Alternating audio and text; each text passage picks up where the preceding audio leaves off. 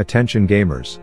Imagine a situation where you play a ranged top laner because you are a poster child for pro-choice only to be met with the cold reality that the enemy top laner has had just as little care love and sex as you in life and now it's a battle of the turbo virgin ranged top laners.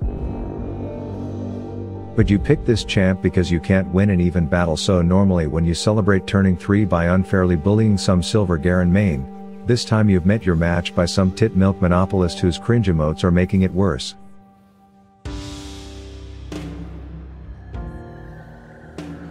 You're forced to dry hump your own statue because you know damn well the second you try to join a midget convention, their leader will be front flip delivering a greeting card from annoying bullshitsville immediately. It's becoming apparent that you only played a range top laner because you don't have the skill to play a real champ and being a victim of this many solo bolos is getting embarrassing. Deep down you know exactly what her game plan is but like a 2 IQ fruit fly in front of a scolding light bulb you just can't help yourself and even the hooded midget employees know your ass is free to grab. 12 minutes in and your tier 2 tower is already being smoked like a joint at Snoop Dogg's house and your range top laner brain convinces you that this is your sign to pick another losing fight. No matter where you are, this evil, purple-haired, same height as Tyler 1 regurgitating dragon handler will find you and hunt you down. Your team wants to give up, and so do you. After all she's single-handedly inverted your anus 600 times and they couldn't care less about you. So why would you care about them? You decide it's solo player PvE time where you are just a mobile midget murdering service. You start taxing other people's lanes, flying around the map sucking up these robed hoodlums like you are a Hogwarts vacuum. You do nothing for 10 minutes but deep throat any wave you see like it's a cosplaying delivery man's dick and your OnlyFans career is on the line. And sure enough, after the glow up of your life from officially not giving a shit about your teammates, you are strong enough to face your childhood bully again. You are now an 18, while bot laners are 12s, and despite the age gap being apparent you pull a Drake and engage with that minor. No tower is safe, no objective won't be stolen, and no nexus can hold up to the power of playing single player League of Legends. Now playing the game on single player mode boils down to selecting and building your champs purely to push waves and killing towers, ignoring team objectives, never rotating for them, and doing anything it takes to get another tower down. It's similar to how the Baus plays and look how well it's going for him. Permanently banned. Your account received the following penalties. Oh, okay. But today I'm going to show how insane it can be and all the nice things your teammates will say about you as you are executing it. But the real mentally ill people in this game are the ones paying 500 bucks for an Ahri skin. Which is why I'll be the first person to get the skin without paying for it by using Buff. Buff is a trusted software by Overwolf who owns all these apps that you probably already use that runs in the background when you are gaming. Think Vanguard except it's not kernel level malware and it doesn't sell data to China because it makes its money through advertisements and premium offers but the way it works is that you accumulate points simply by logging time playing your favorite games completing missions and doing what you would normally do. After a while you've accumulated enough points to hit the buff store where you redeem points for gift cards cool gaming shit and in-game prizes, with Riot RP being one of them so today I will launch my mission to use buff to single-handedly fund my $500 Ahri skin, and you should too by getting it for free by using my link below. Alright so the best pick I found for this is Ziggs in the top lane as he takes towers better than Logan Paul takes crypto investors money and you can see in this example I'm against the leader of the Mud Hut clan. I'm in queue to receive a gank but the guy they send has a blindfold on so his aiming is suboptimal which results in a 20 health tentacle Tina getting out. He's red in the face chasing like a state certified dipshit but my plan is to secure the minion gold myself but I don't want my single player mode to be bumped up to fed enemy top difficulty so I let him douche dash to my body and then the uncoordinated shit fest continues in my lane. Lee Sin continues to prove my point that you should never put your trust in any teammate in this game but by the grace of the riot gods their Volibear forgets how to push his right click button and we kill. He wants to stay but I'm moomed which means a fight is doomed but Lee is too blind to see that so he commits which results in a trade that's actually beneficial for me. I get a level advantage from sitting in lane and sure enough the Sonic shitter arrives for an encore performance to redeem himself which goes well and then instead of scratching his back at grubs after he scratched mine in lane I stick to my plan by removing so many plates from this tower you'd think it was the squat rack after a Tyler 1 Yelp session. Get up, get up, But here's the thing I greeted like an Enron executive in 2000 instead of backing so I was forced to attend Tentacle Hentai Land to which I thought I escaped because I was under the impression that tentacles leave this red indicator before they drop but this one surprise sneak attacked me so if this wasn't a bug then fuck me I guess but if it is a bug then a big fuck you to Riot. That said Fiona from Shrek wasn't going to get away with that bullshit so I returned via Skybeam knocked her around and then ordered an Oppenheimer on her ass for the kill.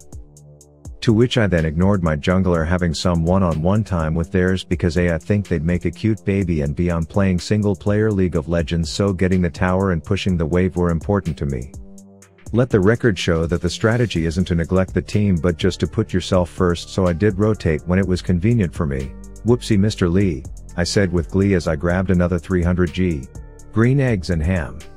Anyways I now wanted to nuke a bot lane turret and I could give two shits if this was quote unquote not my lane so I hobbled my little Dexter's laboratory looking ass into their domain whipped a piss vial at the thick hipped chick and then proceeded to do what I came here for and that was tear down towers and any weaponized arcane crane game that thought he could make a difference in this world would be promptly shown otherwise. The next tower I'm gonna treat like a statue of a racist man in the 1800s and try to tear down is mid and no amount of pinging or crying from TF is gonna stop me because I'm playing my game and no teammate nor plasmatic wing ding is going to stop me. I know that this Andrew Tate energy I'm giving off is going to attract dick riders from all genders and species so I just welcome the company into my playground as we orgy the ogre and then I Amazon Prime another atom bomb for the right clicker with the BBL before securing the last of the tier 1 towers. I continue playing solo player just roaming around the map and soaking up waves when I can as I could give less than a third of a shit about what the rest of my team is doing as they are probably touching each other's nipples at bot side golems accomplishing nothing while I am knocking out solo missions like this is Xbox 360 Splinter Cell and my balls haven't dropped yet.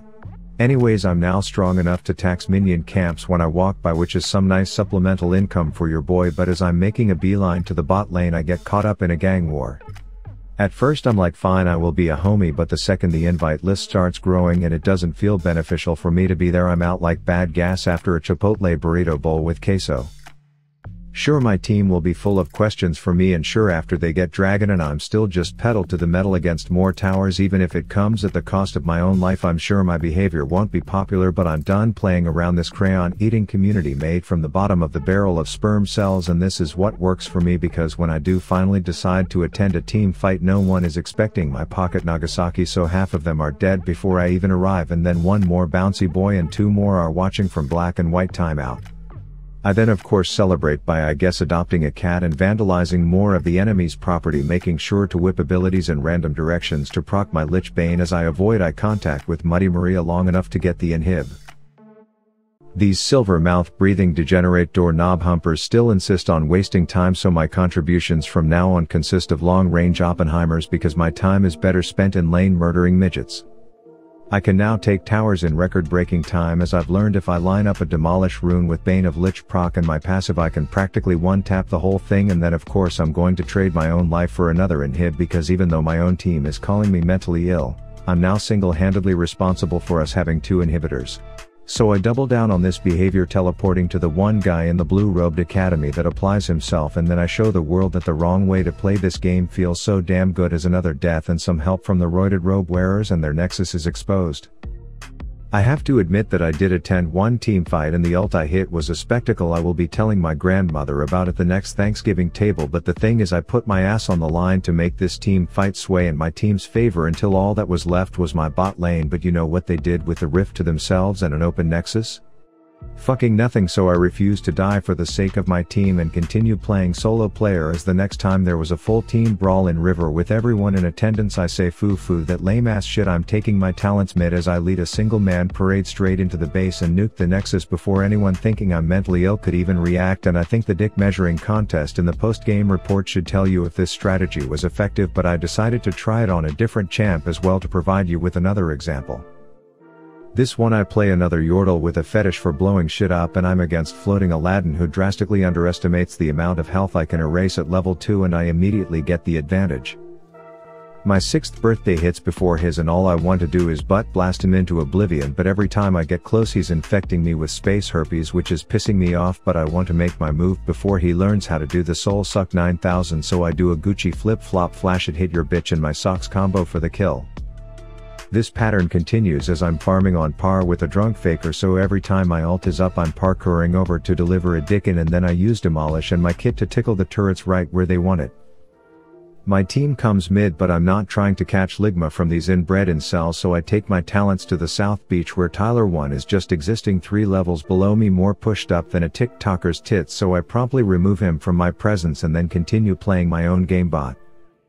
I push the wave and then act like I'm going to negotiate some deals with shopkeeper Boris but really it was all an evil ploy to launch a quick game of surprise you a dead bitch against 2015 Tyler 1 which knocked him dead and left another tower wide open for the taking.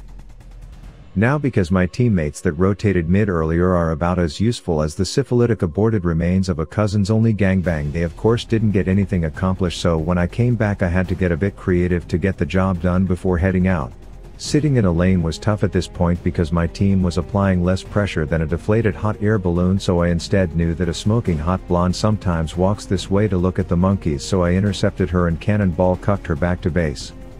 My team is pinging for us to do Cloud Drake at this point but you haven't learned shit if you think I was heading there as I would rather dunk on this budget juggler once more before I guess everyone and their mother wanted to drop the mitts. Gosu ulted so naturally some of my autos were getting desk popped into minions as Corki continued to press on because his meninges are full of Mountain Dew so he dies and decides to flame me which is exhibit F of why I will never play for shitty league teammates again. I now have to deal with a tumbling twerp who got fed off the fat of the land aka the inting idiots on my team but luckily my KDA is worth being taken home to meet the parents so she gets dicked on and I charge all the way down top lane to take the base turret. It's not pretty but the plan is working but here's the thing. You can play single player all you want but if the high school dropouts with morning breath and bedhead don't want to let you cook, it's still gonna end in sadness. Rav that totally could have carried that game out.